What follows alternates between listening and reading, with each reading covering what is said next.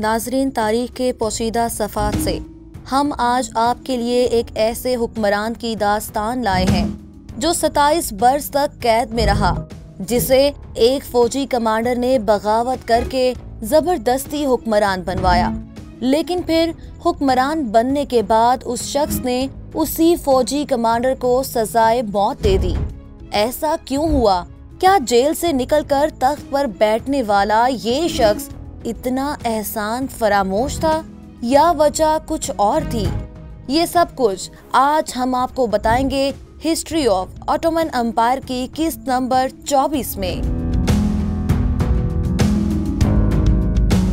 2 अगस्त उन्नीस सौ छियानवे को एड्रीन के शाही महल में पैदा होने वाले सुल्तान महमूद अव्वल के वालिद, सुल्तान मुस्तफ़ा सानी थे। जिनकी दास्तान हम आपको इस सीरीज़ की 22वीं किस्त में सुना चुके हैं। और वालिदा सालेहा खातून थी। वो बाद अजा वालिदा सुल्तान के अहदे पर भी फायज रहीं। सुल्तान महमूद अव्वल के वालिद सुल्तान मुस्तफ़ा सानी क्योंकि ज़्यादातर एड्रीन के महल में ही रहे थे, इसीलिए सुल्तान महमूद का बचपन भी उसी महल में गुजरा।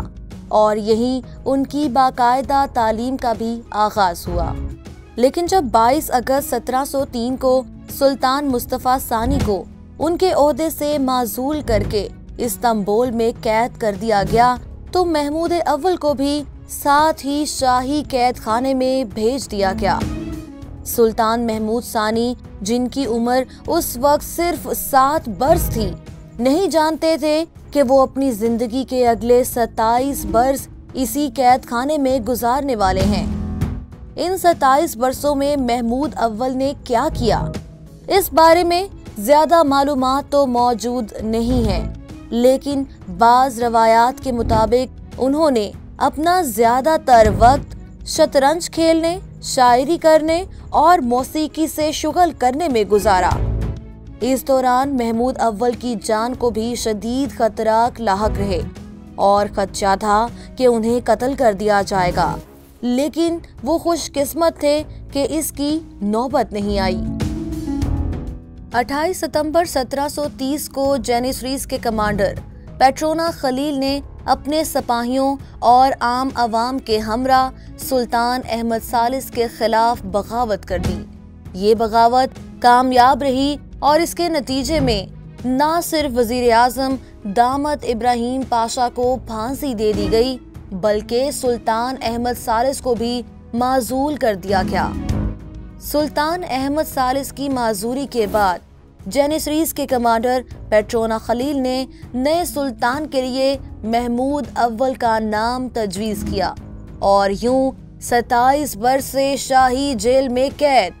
महमूद अव्वल की किस्मत का सितारा चमक उठा। सुल्तान महमूद अव्वल की बतौर सुल्तान नामजदगी का ऐलान तो कर दिया गया, मगर बाकायदा तौर पर सुल्तान के दौर का आगाज़ 25 नवंबर 1730 को हुआ। सुल्तान ने तख्त नशी होते ही इस्तंबुल में इंतहाई सख्त किस्म का सर्च ऑपरेशन किया और 2000 से जायद फसादी लोगों को गिरफ़्तार कर लिया, जिनमें से बहुत से लोगों को सजाए मौत दे दी गई। इस सख्ती के नतीजे में हर तरफ़ सुल्तान की दहशत फैल गई और रियासत के तमाम उमरा ने महमूद अव्वल को सुल्तान तस्लीम कर लिया। बहुत जल्द सुल्तान के मुख्तलिफ़ हिस्सों में होने वाली बगावतों पर भी काबू पा लिया गया।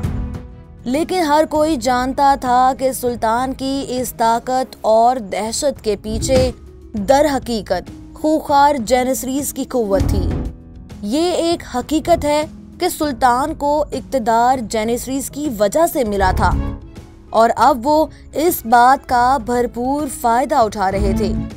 किसी भी आला ओहदे पर तैनाती जेनिसरीज की मर्ज़ी के बगैर नहीं होती थी, और उनका कमांडर सुल्तान की बिल्कुल परवाह नहीं करता था, लेकिन उसका यही तर्ज अमल उसके लिए भयानक साबित हुआ।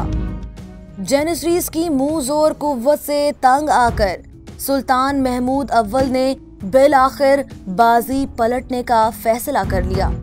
सुल्तान ने अपने वज़ीर आज़म मुफ्ती आज़म और जेनसरीज के सबसे बड़े उस्ताद को एतमाद में लिया और 24 नवंबर 1731 को पेट्रोना खलील और उसके सात हज़ार हामियों को हिरासत में ले लिया।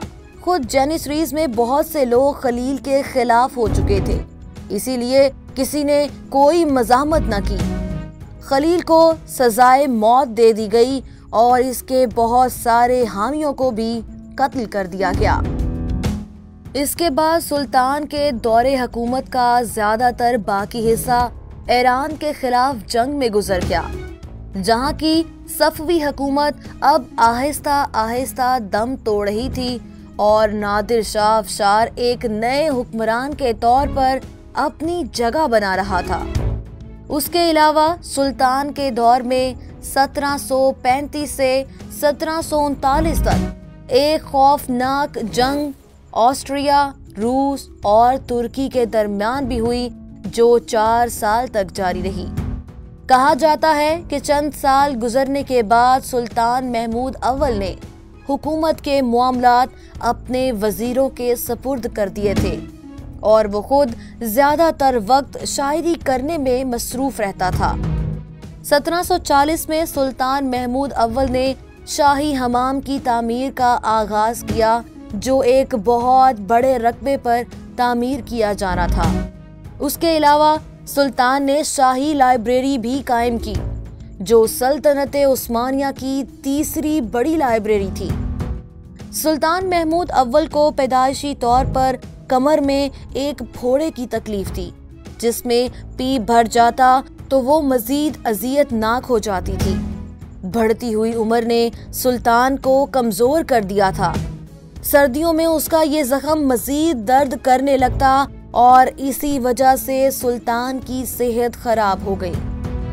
13 दिसंबर सत्रह को सुल्तान महमूद अव्वल नमाज़ जुमा की अदायगी के लिए मस्जिद गए तो वापसी पर बेहोश होकर अपने घोड़े से नीचे गिर गए। और फिर उसी दिन वो जख्मों की ताब ना लाते हुए इस दारे फानी से रुखसत हो गए। उन्हें इस्तांबुल की नई मस्जिद में सपुर्द खाक किया गया और यूँ सल्तनत उस्मानिया का चौबीसवां हुक्मरान तकरीबन 24 साल हुकूमत करने के बाद रुखसत हुआ। लेकिन ये कहानी अभी जारी है और इस अजीम शान सल्तनत की ये सनसनी खेज दास्तान एक नए मरहले में दाखिल होने वाली है। इस सल्तनत का अगला वारिस कौन बना और उसके दौर में क्या हुआ? ये सब जानने के लिए इस सीरीज़ की अगली किस्त लाजमी देखें। और अगर आप ये चाहते हैं कि अगली किस्त आपको बर वक्त मिल जाए तो सब्सक्राइब के बटन को क्लिक कीजिए और बेल आइकन को भी प्रेस कर दें।